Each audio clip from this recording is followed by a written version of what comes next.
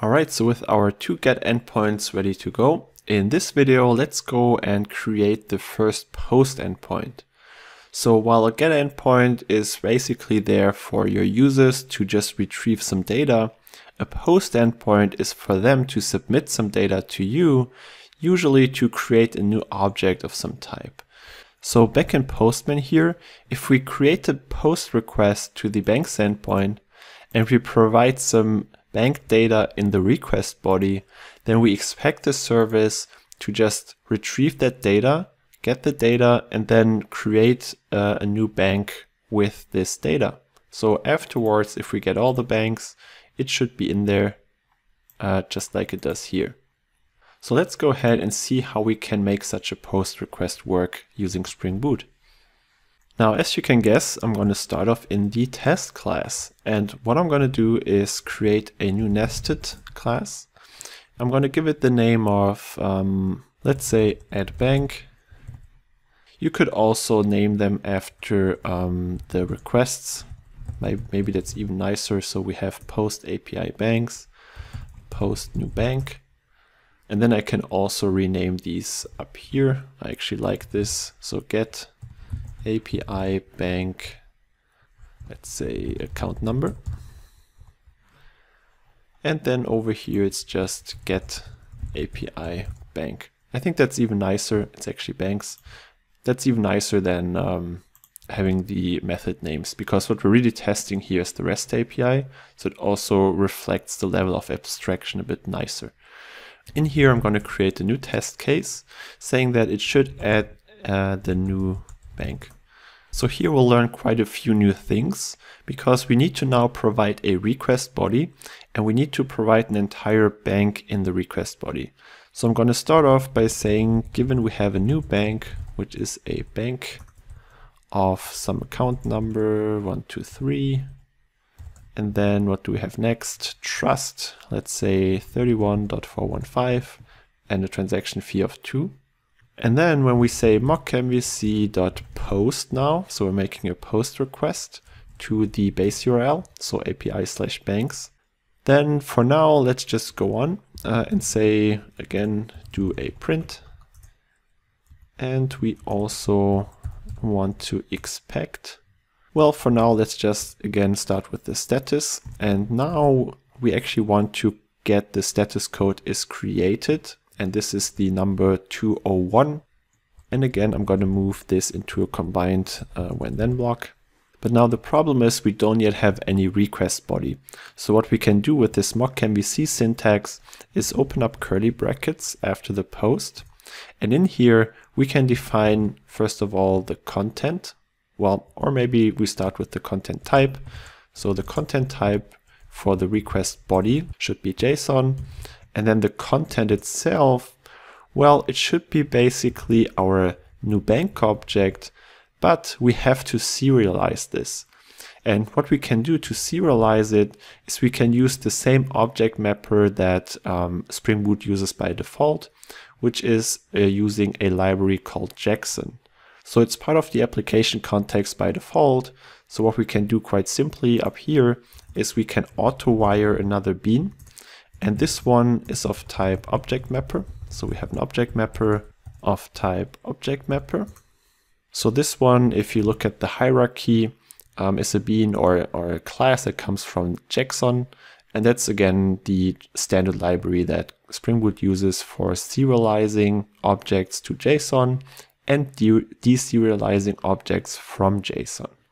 All right, um, what I don't really like here is this field-based injection and the late init variables. So what we can do instead is we can also move these to the constructor. And in here we can now just say um, we have a val, so mock MVC of type mock MVC, and we don't need the late init anymore. So here, again, you also have to use auto-wired. And well, for the test case, it's not really necessary to have the private uh, in there because the entire class is only available in the uh, test sources anyway. Um, and then the same for this one.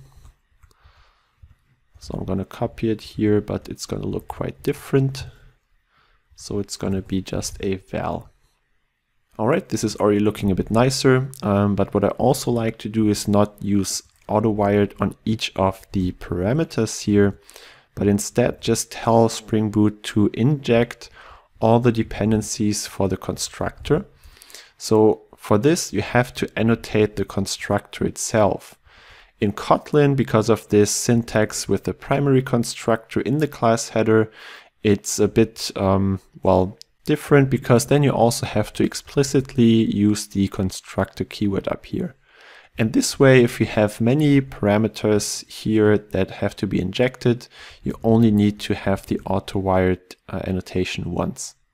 Okay, so so much for cleaning up the code. Let's go back to where we were. So the content now should be our, well, our new bank. However, we have to use the object mapper and then write that value as a string. And this will really just um, yeah, serialize it to a JSON object, just the same way that we see it here in Postman. So it's not like a regular toString function, it's really a serialization to a valid JSON representation. So now, because this is becoming a bit more complex and it's kind of weird with the indentation here, I think what I'm going to do is actually split this up now into a when and a then block. So what I want to do for now is say this will be the when block. For now, we'll have to um, go up here and actually store this into a variable. So I'm going to just call this foo for now and let's see what it returns. Um, it actually returns, well, just result actions, which isn't really the best name. Um, so let's say response. So we'll just call it response already. Um, or maybe perform post. That may be even nicer with the um, following syntax. And then down here in the then block, we can say perform post and do print and expect. So this is, I think, reasonably readable. And this is actually indented uh, the wrong way now. All right, so perform post and do a print and then expect that the status is created. So this, let's go ahead and run our test class again.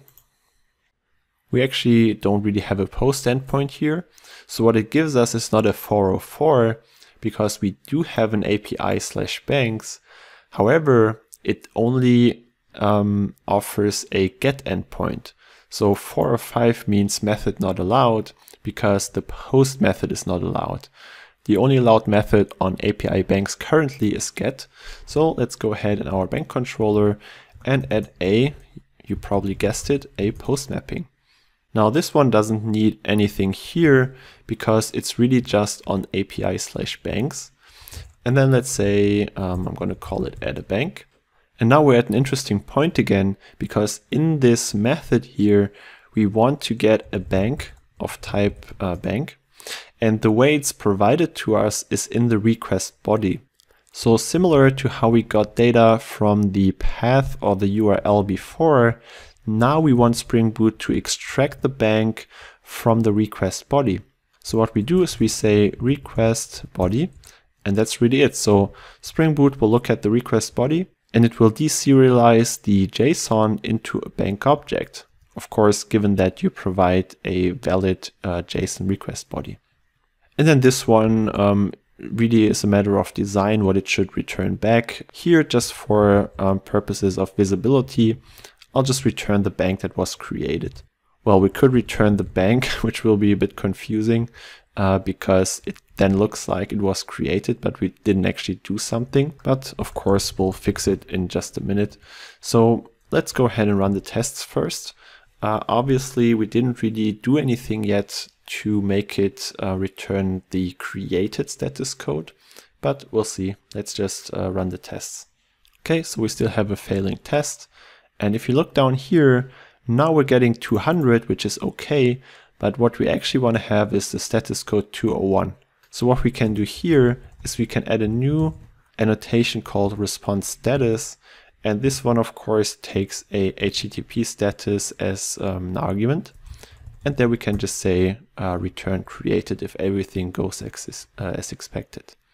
All right, with this one, let's run them again. And now we should get our status code as expected. All right, perfect. We've uh, made our test green.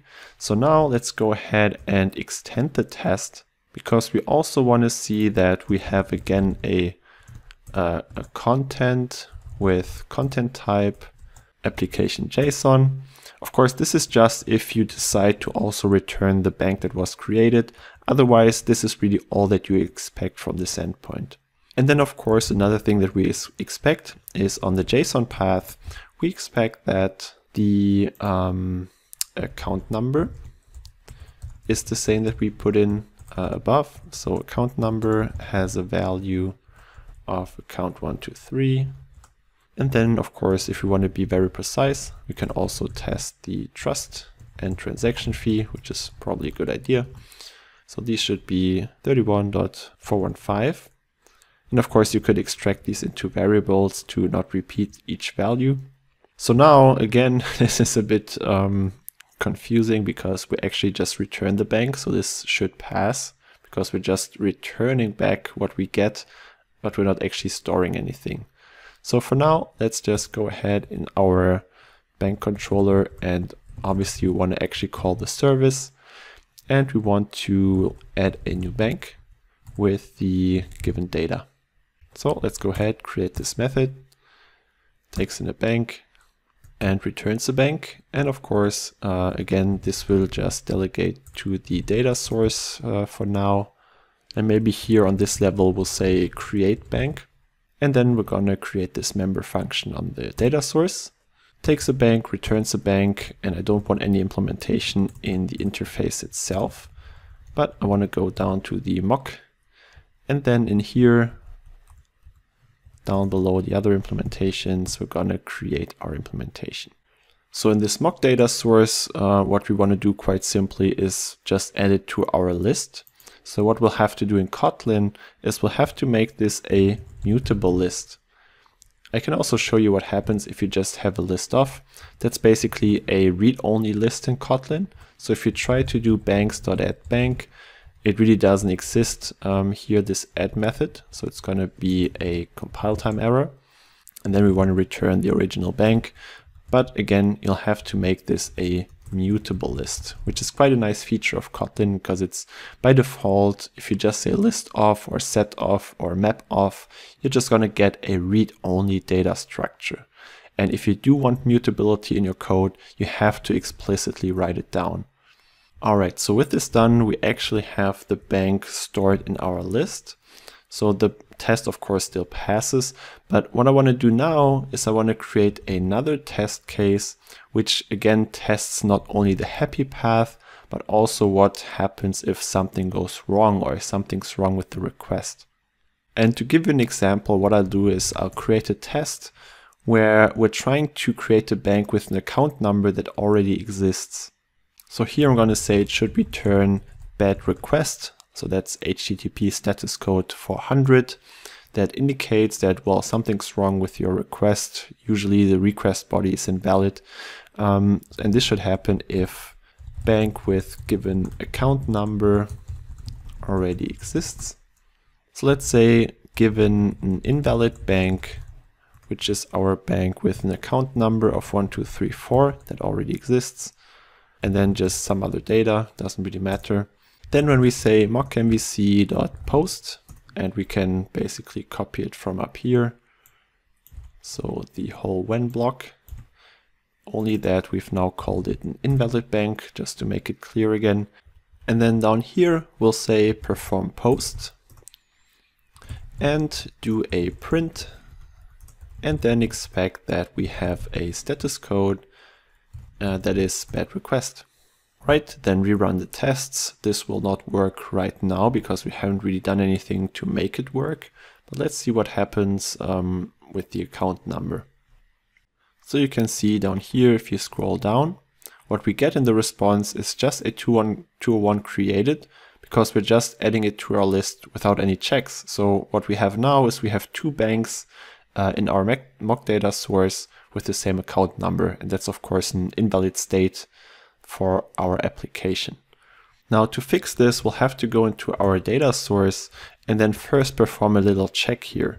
So if there's any element in the banks list where the account number is equal to the uh, new bank's account number, Then what we want to do is we want to say uh, throw an illegal argument exception. And here we can again provide some nice uh, error message that we can also expose in our response. So a bank with account number, well, the given account number, or rather bank.account number already exists. And with this, if we now try to add a bank um, with an account number that already exists, before we even get to banks.add, we will just throw this exception. And then of course in the bank controller, similar to how we did before, we'll have another exception handler. So I'm just going to copy this one. However, instead of handling the no such element exception, we're now handling an illegal argument. And illegal argument in general probably means that something was wrong with the request body or the data that you received. So we can say this should handle bad request. Of course, you could use your own custom exceptions that are more fine grained and so that you know exactly this was definitely a bad request. However, for this very simple application, just using the default exceptions that we have, like no such element or illegal argument, is more than enough to uh, handle these kinds of error paths. And then we want to again return the exception message in the request body, but of course the status code should be bad request. Alright, with that done, let's rerun our tests and see what happens. Looking good, all our tests are now green. Um, on this new test case down here, if we want to take a look, it says bank with account number 1234 already exists, and it gives us a status code of 400, which again is just a bad request. So all that's left now is to also try it in Postman. So not don't forget to run the application itself like I always do. And then it's running again on port 9000. So now if I post a bank like this one, I get 201 created. You can see it here in Postman. And I get back the original bank that I put in. But more importantly, if I retrieve all the banks now, I can see that it has indeed been persisted, at least for the runtime of the application, because we're obviously just using an in-memory list and not a proper database. But yeah, you can see we have a post and we can retrieve the data that we submitted. All right, so everything's looking good. There's one quick tip I want to give you um, regarding the IDE or the tooling. So in IntelliJ, you'll see that it will say the bank controller is never used and the same for its methods. And that's because you're not really uh, using the object in your code and you're not calling these methods anywhere, but of course they're being used by the Spring framework. So what you can do is you can um, show the context actions with Alt Enter and say you want to suppress this warning for any class that's annotated with REST controller and then it will stop showing it as unused. Of course, your exception handlers are also used by Spring Boot, so you don't have to call them anywhere manually. Um, same for your get mappings and post mappings. All right, yeah, but that's just a little tip on the side. Um, mostly in this video, you learned, of course, how to use post mappings and then how to get the request body data into your application. And also, by the way, how to override the status code very easily by just using the annotation. On top of that, for your testing, you've learned how to use the object mapper and how to create post requests in your tests using the proper media type and content. So I hope this was helpful to you. If it was, please like this video and also check out my links in the description and I'll see you again in the next video.